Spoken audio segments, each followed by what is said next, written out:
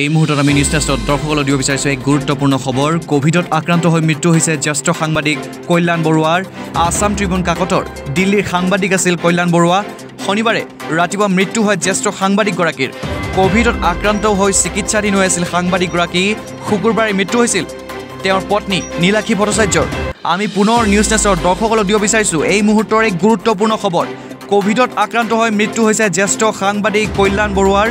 Assam Tribune কাকতৰ দিল্লীৰ সাংবাদিক আছিল কল্যাণ বৰুৱা আৰু শনিবাৰে ৰাতিপুৱা মৃত্যু হয় জ্যেষ্ঠ সাংবাদিকগৰাকীৰ। কভিডত আক্ৰান্ত হৈ চিকিৎসাধীন হৈ আছিল সাংবাদিকগৰাকী আৰু ইতিমধ্যে শুকুৰবাৰে মৃত্যু হৈছিল তেওঁৰ পত্নী নীলাক্ষী ভট্টাচাৰ্যৰ।